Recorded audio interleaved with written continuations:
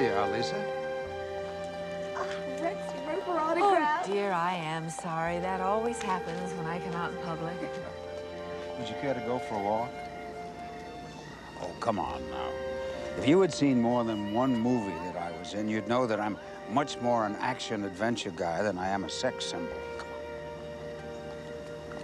Besides, I always get the girl, though. you warm enough? Oh, yes. I was going to give you my jacket. Oh, just like in the movies, huh? Rex, Yes?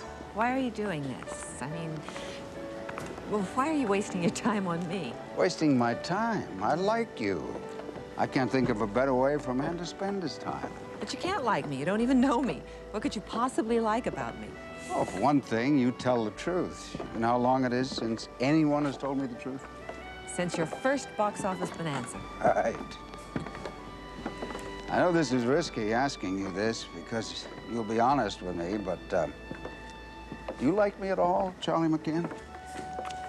I can't afford to like you. For one thing, you have a girlfriend. Or is that your daughter? Low blow.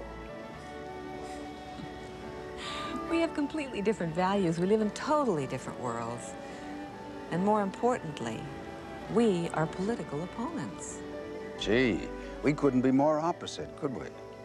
And now I suppose you're going to tell me that opposites attract. Uh-uh. You said it first. Oh, Rex. Yes?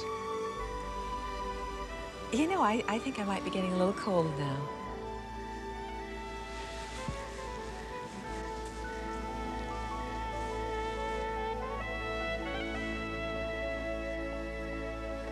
Do you have any idea how many photo opportunities you're missing inside there?